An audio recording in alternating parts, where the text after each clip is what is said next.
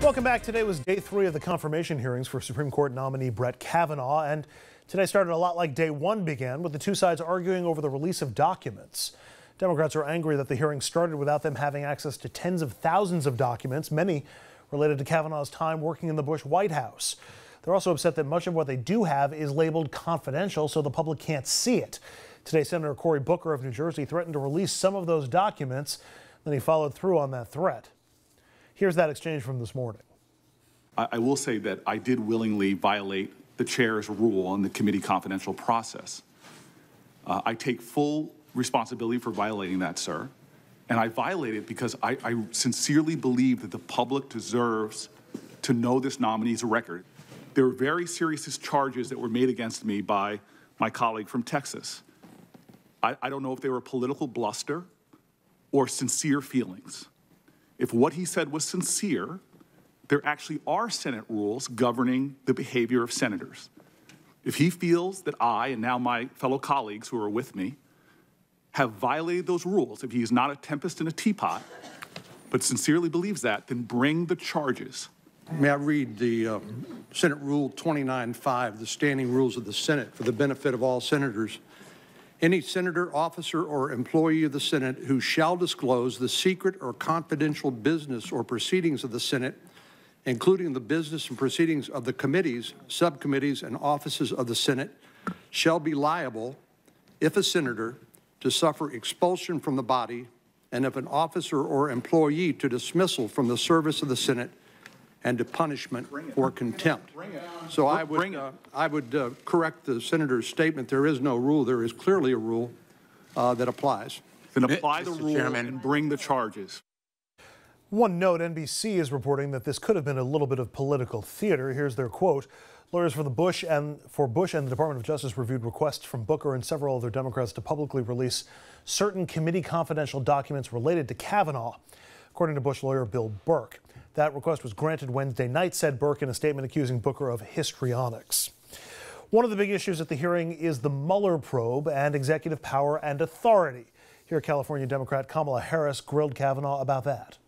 Have you discussed Mueller or his investigation with anyone at Kasowitz, Benson, and Torres, the law firm founded by Marc Kasowitz, President Trump's personal lawyer?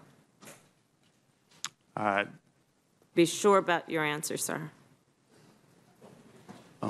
Well, I'm not remembering, but if you have something you want to, It's a really specific question. I would like to know the person you're thinking of, because what if I there's, a- think you're thinking of someone and you don't want to tell us.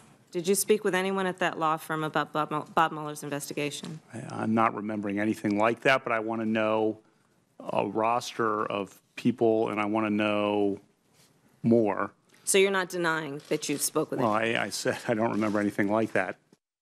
One more clip for you. Connecticut Democrat Richard Blumenthal. He asked Kavanaugh how Kavanaugh would handle a case involving the president. I would like your commitment that you will recuse yourself if there is an issue involving his criminal or civil liability coming before the United States Supreme Court. To be consistent with the principle of independence of the judiciary, I should not and may not make a commitment about how I would handle a particular case. All right, gentlemen, a lot to digest through here also. Let's start with where we think we are after three days of Kavanaugh hearings, how he's handled it, uh, the process, but also uh, the optics of it all, Richard. He's smart. He's a competent judge. In the end, what the Democrats and the Republicans are going to have to figure out is whether they want to confirm a guy who is likely to reverse Roe v. Wade and is likely to support a, a, a hard right agenda. And that's a legitimate thing for both Democrats and Republicans to think. I think actually he did not do very well in evading a lot of the questions that were asked because the questions were, that he were asked were not how are you going to vote.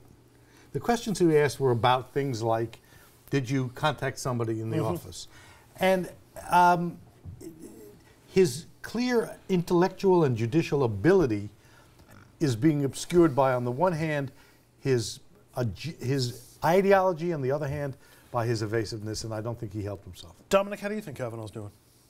I think the problem that, that many Democrats and, and, and, and mu- much of the country have with uh, Judge Kavanaugh is that he's very polished.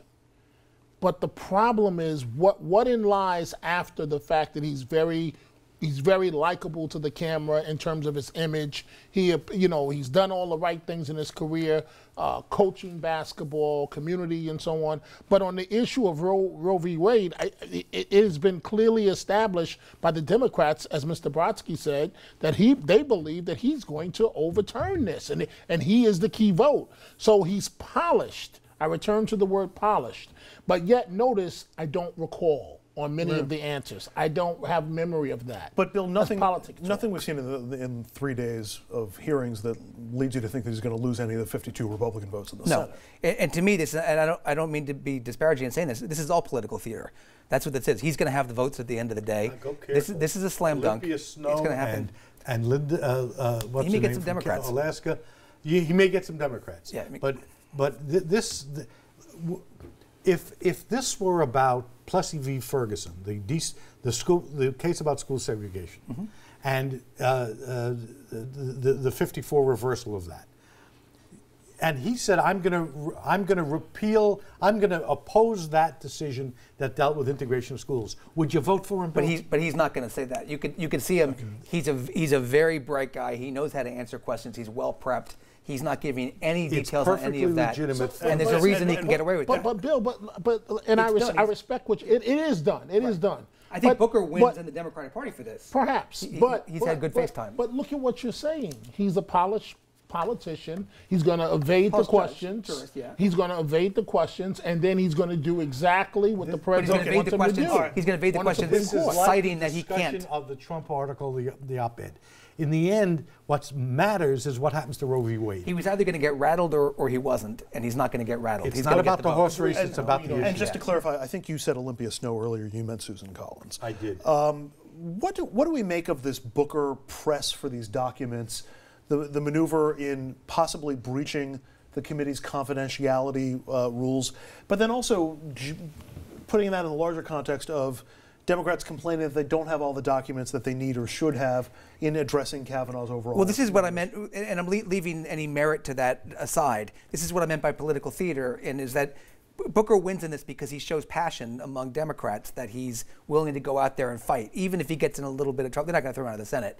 He wins because he's the he's the takeaway from the hearings. He's the Democrat that took on the Republicans at the hearings, and so you know he wins there at the end of the day. There's nothing wrong with that. No, I'm saying from his perspective, he played this well. It's a smart play. The, the, the, the, the, the question of the documents, again, it matters not just because we're playing a parlor game as to who gets what to see what, it because in the end, if he really is going to uh, vote to overturn Roe v. Wade, then you need to know that.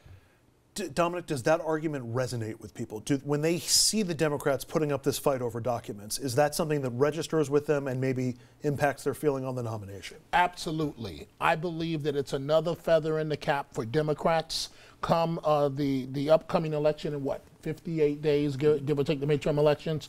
I, but what I, what I worry about for the country is that our politics are so polarizing that in institutions like the Senate, apparently, we're not even respecting rules anymore. That's and right, and that's. That's that right. on both sides. That's, not a reflection on Senator Booker or anyone else. We're not respecting rules. So so and and on uh, for the Democrats, how the important seat that Brodsky said, and and you don't have the nec- necessary paperwork to to accurately judge this man. So at what point does the posturing and the partisan politics stop? Last, last question. Last question on this topic, and I want to address it to the attorney at the table. You heard some of the questions from Kamala Harris to Kavanaugh. What was your? She sounded like she had something in reserve there. That she was asking a question she knew She's the a answer skilled to. lawyer. She can sound that way whether she does she- or, or she doesn't. But do you, do you think she's got something more there? Do you? I haven't the slightest idea. The suspicion was that that uh, Kavanaugh had spoken to somebody at Kasowitz's law firm. I, it, it, it's possible, and if so, it's relevant and should come out. And and that's one of the places he looked evasive. All right.